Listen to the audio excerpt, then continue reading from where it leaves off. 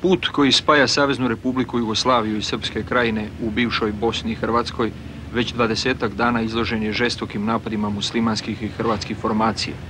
Cilj je jasan, prekinuti ovu liniju života i početi ofanzivu na srpske prostore u Posavini. Putuje se bar posljednjih dana na vlastiti rizik. Koridor tuku muslimani iz pravca Gradačca, te Hrvati iz Orašija i sa područja opštine Županja iz Republike Hrvatske. Na nekim mestima muslimanske linije na domet su pešadijskog oružja, ali glavna opasnost preti od dejstva minobacača sa jedne i sa druge strane. Srbi uzvraćaju puno mero. Vojvoda, reci, reci Vojvoda.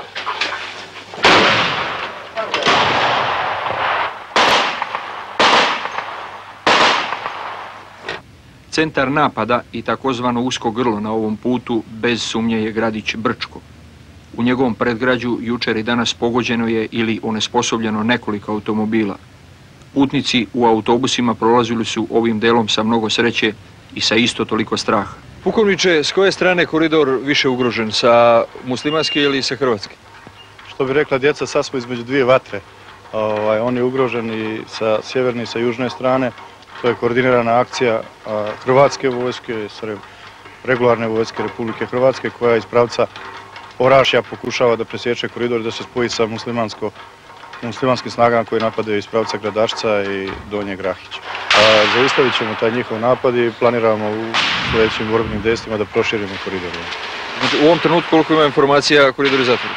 U ovom trenutku smo iz bezbednostnih razloga nakratko zatvorili koridor, obzirom da a, borbena dejstva su ispoljena, odnosno artiljerija neposredno višecevni bosači raketa dejstvuju po putu i to njima je to u interesu baš e, da se on upravo zbog toga zatvori. Međutim, to je samo privremeno, čim utihne artiljerija i ovaj, još i mi je smirivo sa svojom artiljerijom, put će ponovo biti propadan.